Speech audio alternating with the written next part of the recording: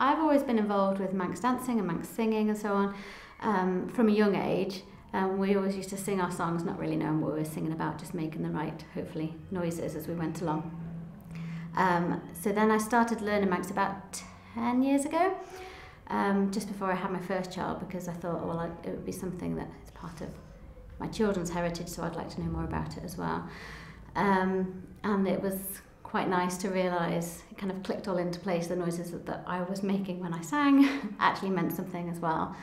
Um, so that was nice, that's what probably brought me into it to start with. Um, and then uh, when my children were born, we sent, well, as they grew older, they went to the Mooinjer Veggey playgroups as well, and so picked up some Manx there themselves too. Um, and so it was all kind of gradual really, and they eventually went to the Bunscoill, And so that kind of cemented my learning as they started learning more Manx. Um, mine carried on as well, really.